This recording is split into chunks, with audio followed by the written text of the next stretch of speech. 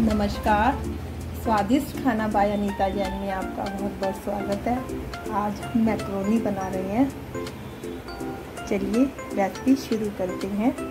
ये मैंने एक बाउल, बड़ा बाउल मैंने मैक्रोनी बॉयल कर ली है। और ये कैप्सिकम, एक कैप्सिकम, ये एक मेरी गाजर है, कैरेट और एक भुट्टे के मैंने दाने स्वीट कॉर्न, ये स्पिनिच, पालक और ये टोमेटो, टमाटर लिया है। चॉप कर लिया मैंने इन सबको। और ये थोड़ी मैंने पास्ता सॉस, जो मैं आज पास्ता सॉस के थ्रू बना रही हूँ, जिससे कि ऑयल कम यूज़ हो हमारा। बर्तन रखा है। एक टेबल स्पून मैंने ऑयल डाला।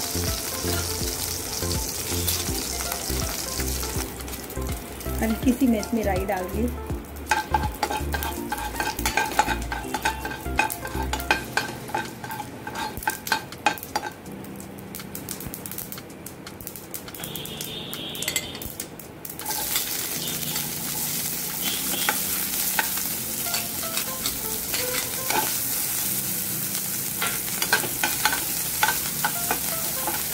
इसे मीडियम टू लो करते हुए हम इन सभी सब्जियों को हल्का हल्का सोते करेंगे।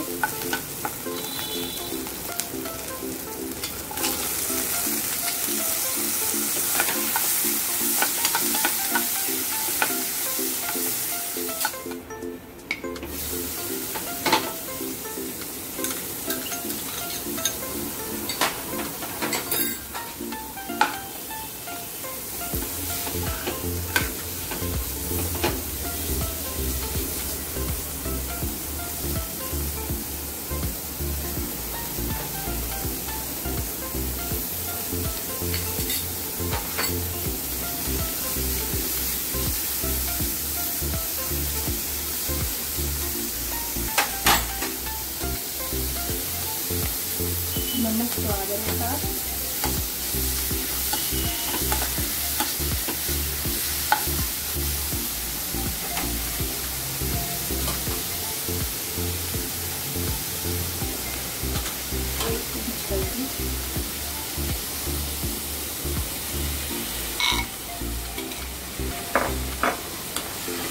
दो tablespoon pasta sauce white pasta sauce ये लेकिन आज हम इसे मैक्रोनी में यूज़ कर रहे हैं।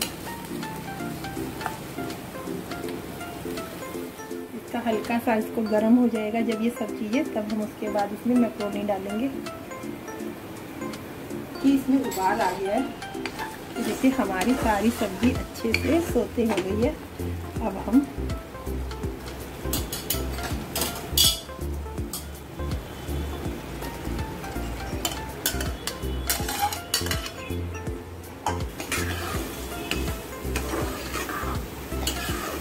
देखिए कितना बढ़िया लग रहा है। ये देखिए थोड़ी काली मिर्च मैं डाल रही हूँ। थोड़ा काला नमक, हल्का सा वाइट नमक। आपने मैक्रोनी तो बहुत बनाई होगी। ये मैक्रोनी मैं नई स्टाइल में वाइट पास्ता सॉस के साथ बना रही हूँ, जो कि बहुत टेस्टी है, जो मैं अक्सर बच्चों के लिए बनाती हूँ। तो आज मैं ये रेसिपी आपके साथ भी शेयर कर रही हूँ। देखो, मैंने इसमें कितनी ढेर सारी सब्ज़ियाँ डाली है। हर प्रकार की सब्ज़ी है। कि खाली सूजी या मैदा, ना जाके बच्चों के।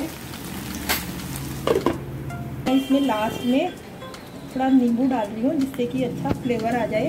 काला नमक, काली मिर्च और फिर थोड़ा सा लास्ट में नींबू डालिए। और इसका फ्लेवर ये सूजी का ही मकरोनी है हमारी।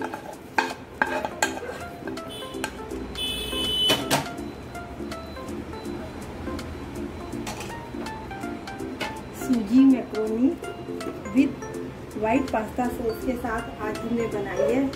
ये बहुत ही टेस्टी है।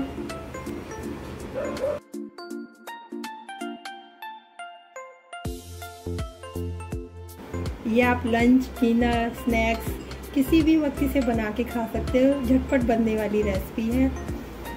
अब आप भी इसे बनाइए, खाइए और हमें बताइए ये आपको कैसी लगी।